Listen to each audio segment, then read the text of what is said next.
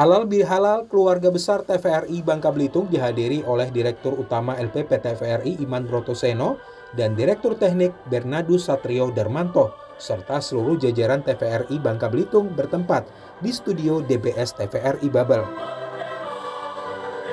Halal bihalal dalam rangka Hari Raya Idul Fitri 1445 Hijriah ini sekaligus menjadi momen bagi keluarga besar TVRI Bangka Belitung untuk melepas dengan penuh kebanggaan Kepala LPP TVRI Bangka Belitung Sriwidayat yang telah memasuki masa purna bakti setelah mengabdi selama 32 tahun sebagai pegawai negeri sipil. Dalam sambutannya, Kepala LPP TVRI Bangka Belitung Sriwidayat mengungkapkan rasa terima kasihnya kepada TVRI yang telah menjadi ladang pengabdian kepada bangsa dan negara, khususnya publik Bangka Belitung. Dirinya merasa bangga dan terhormat telah mampu berkontribusi membangun TVRI sebagai lembaga penyiaran yang informatif, edukatif, dan menghibur kepada masyarakat. Lebih jauh, Sriwidayat mengatakan bahwa Purna Bakti merupakan awal untuk terus mengabdi kepada masyarakat melalui jalur yang berbeda. Bagi saya dan keluarga, tidak ada sesuatu yang istimewa karena ini adalah panggilan tugas saja mengalir saja uh, seluruh pekerjaan kami laksanakan dengan bahagia. Saya sudah bilang tidak ada pernah sedetik pun kami mengeluh atas pekerjaan itu dan semuanya berjalan baik-baik saja.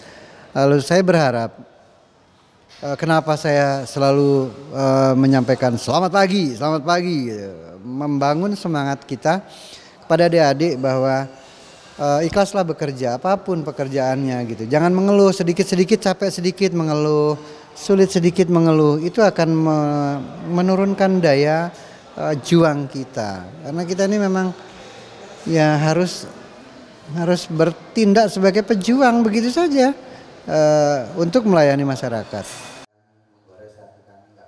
Sementara itu, Direktur Utama LPP TVRI, Iman Brotoseno, mengatakan bahwa peran dan kontribusi Sriwidayat sebagai Kepala LPP TVRI Bangka Belitung sangat besar, baik dalam upaya membangun SDM maupun infrastruktur TVRI Bangka Belitung, sehingga mampu berdiri sebagai lembaga penyiaran yang representatif di Bangka Belitung.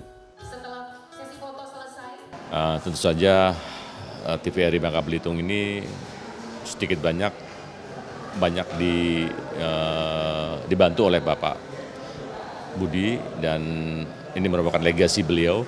Jadi saya berharap uh, apa yang sudah dikerjakan ini tetap dipertahankan oleh teman-teman dari Bangka Belitung dan juga uh, kepada Pak Budi juga tetap menjadi bagian dari keluarga besar TVRI ya. Jadi pintu silaturahim tetap terbuka gitu ya. Halal bihalal keluarga besar TVRI Bangka Belitung berlangsung dalam suasana akrab dan penuh kehangatan. Diharapkan silaturahmi yang terjalin dapat terus dipertahankan dalam rangka menjaga kekompakan antar pegawai. Dari Kota Pangkal Pinang, Tim Liputan TVRI Bangka Belitung melaporkan.